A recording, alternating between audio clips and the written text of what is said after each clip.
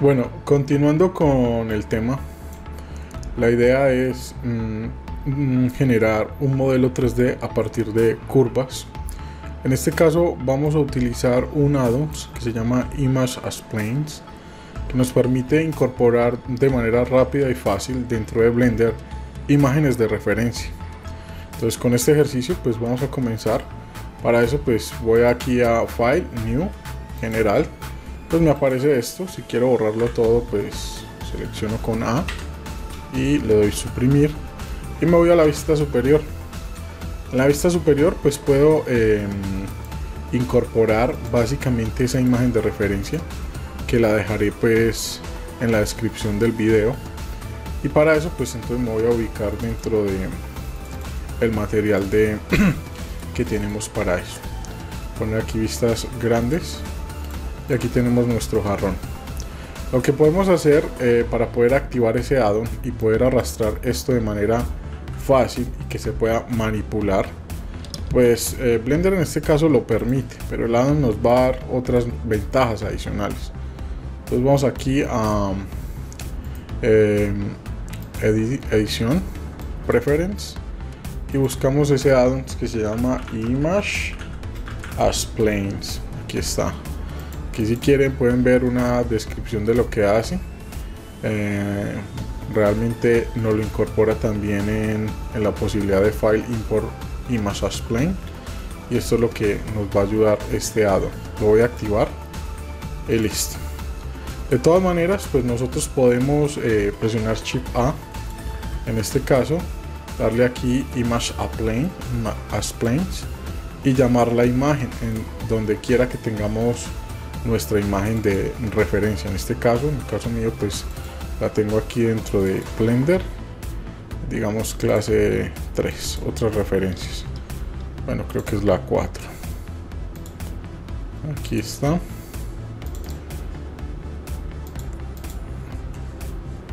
Más plane aquí está. Eh, si la imagen es PNG, mm, pues nos permite ver el alfa, la transparencia. Si es un JPG, pues lastimosamente no, y es más confuso vectorizar eso. Entonces en este caso pues la voy a llamar y aquí tendría mi imagen. Ustedes se preguntarán, bueno, pero ¿qué falló? ¿Por qué no se está viendo? Recordemos que nosotros tenemos la posibilidad de ver en alambre, la posibilidad de ver en sólido y la posibilidad de ver como material. Ahí esperamos unos segundos e inmediatamente pues nuestra imagen carga. Bien, ¿por qué la vista top? Pues porque es como la vista que utiliza habitualmente Blender para eh, la construcción de nuestros elementos. Y como vamos a trabajar con una curva y repasar lo que vimos en el video anterior, pues voy a presionar Shift A y le voy a decir Bezier. Aquí tengo mi curva, básicamente lo que voy a hacer es girarla, voy a presionar la tecla N y en rotación, en este caso en dirección de, de, de X, perdón, de Y, en Z mejor. Le voy a dar menos 90. Menos 90. Ahí tengo mi curva. Recordemos Tab. O sea, el botón que nos permite entrar en modo edición. Y activamos nuestra herramienta de tweak. En este caso, si queremos, podemos dejar, digamos, el nodo. En este caso, digámosle 0. Eh, perdón, 0 en Y. Lo dejamos en todo el centro este otro pues lo podemos subir voy ponerlo aquí. Y también lo dejamos 0 en Y. Y si queremos dividir esto un poco más pues ya sabemos seleccionamos este con shift seleccionamos este y clic derecho le damos dividir. Miren que inmediatamente tenemos otro nodo. Y así sucesivamente podemos darle dividir. Miren que vamos a empezar a tener nodos que nos van a permitir lograr mejor llevar a cabo, digamos, como una especie de, de redibujado con nuestra referencia. En este caso hay algunos cambios que son evidentemente necesarios, pero para eso pues tenemos que poner en práctica los conceptos vistos en el video anterior. Uno de esos pues se traduce en poder decirle a lo que deja este nodo o a lo que luego continúa que tenga otro comportamiento. Para eso usamos la técnica de Y aquí le decíamos si era automático, si era corner, que es esquina. Creo que este sería el más adecuado para estos dos. Corner, que sea totalmente plano. Y en este caso, pues empezar a jugar con este handle. Si vemos que nuestra figura no alcanza a responder bien con esa curva, se hace necesario agregar un nodo entre estos dos. Entonces clic derecho después de tenerlos seleccionados y simplemente le damos el ajuste. Es muy importante tener activada la opción de tweak, si no constantemente tendríamos que estar presionando la tecla G. Bien, entre estos dos igual, clic derecho, subdividir y voy a poner otro nodo acá. Miren que él básicamente lo ajusta o se va ajustando de una manera muy muy cómoda y precisa. Bien, lo mismo con este, pues realmente el defecto está en los handles de este último. Entonces lo vamos corrigiendo lo dejamos aquí horizontal y lo vamos a poner aquí abajito. Ahí está. Y de esta manera tenemos resuelto nuestro jarroncito o por lo menos la mitad de él.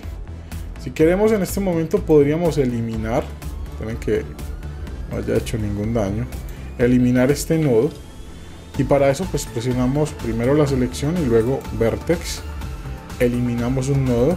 Si en algún momento quieren eliminar un edge o en este caso un trayecto de lo que va de nodo a nodo, tienen que seleccionar dos nodos, presionar V y decirle, perdón, presionar X y decirle borrar segmento. Miren que de esta manera se desaparece, voy a ocultar mi referencia para que ustedes puedan ver ahí el trayecto entre los dos. ¿Cómo lo hice? Va de nuevo. Selecciono uno, luego con Shift el otro, presiono suprimir y le digo borrar segmento, no los vértices. Vamos a hacerlo con los vértices, borrar vértex. Miren que lo deja conectado. Entonces para agregar un nodo, dividir. Pero para borrar nodos, suprimir. Pero en el caso de querer borrar el segmento, suprimir pero segment.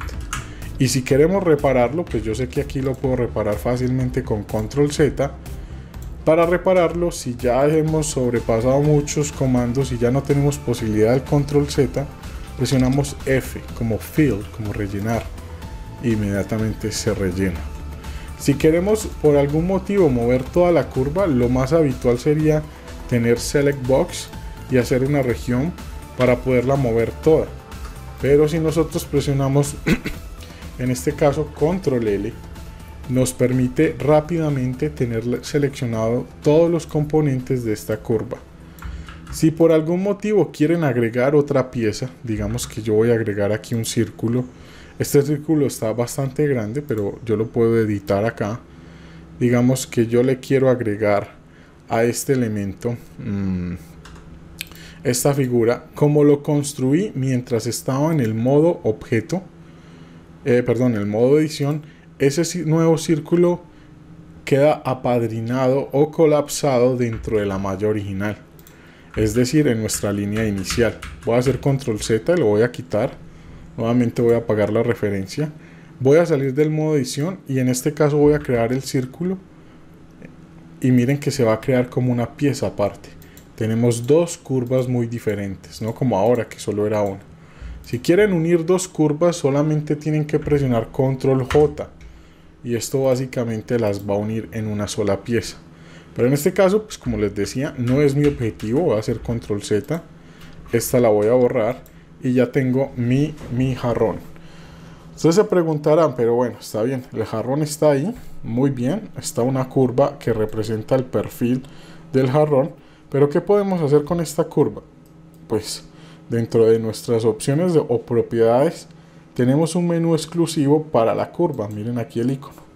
Y dentro de esos están las opciones de darle más calidad, ¿cierto? Rellenar espacios cuando ya los tenemos en 3D.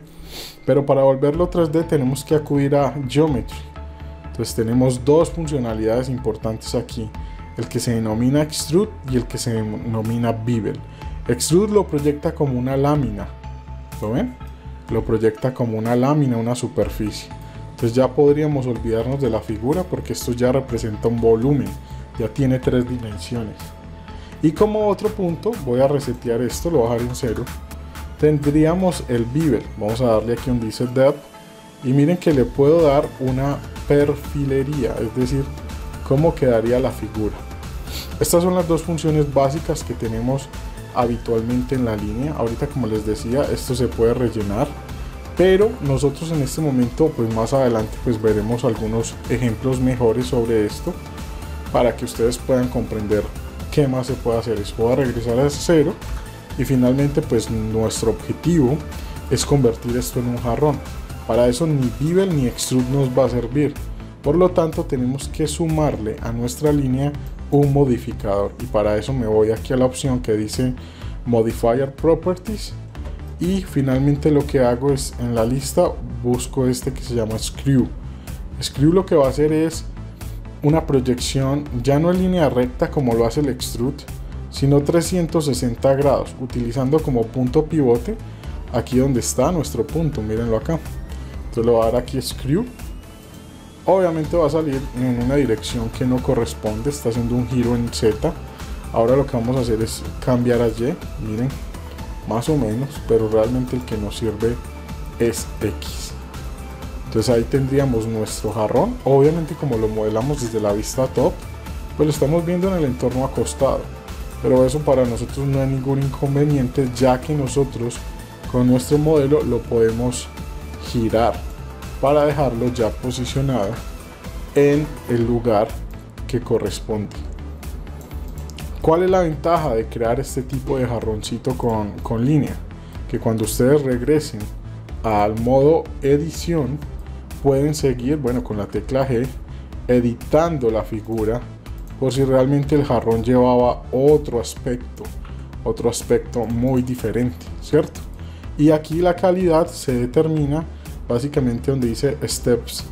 Los steps que vemos en el viewport y sería bueno que también al renderizar vea la misma cantidad de steps que vemos en el viewport. O al contrario dejarlo bien limpio en el viewport y que en el render sí le ponga el mejor desempeño. Sin embargo pues eso es lo que más nos va a sumar en la figura. Entonces eso es lo que es nuestro primer ejercicio que tiene que ver con el manejo de curvas y mm, seguimos en el próximo video ya con el, tratamiento que le hacemos a las mesh.